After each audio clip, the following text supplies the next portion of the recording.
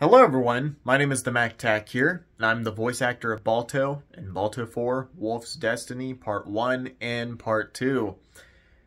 I'm here to let you guys know that on Stefan Balugani's channel, today will be a YouTube premiere video for the first few seconds of Balto 4 Wolf's Destiny's Part 1's opening.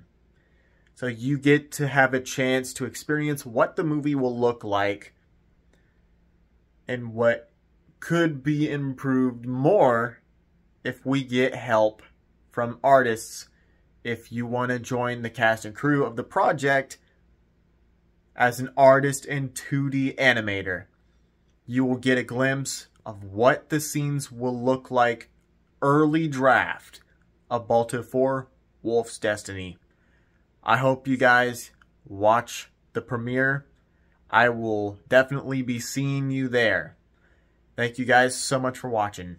The Mac Attack, signing out.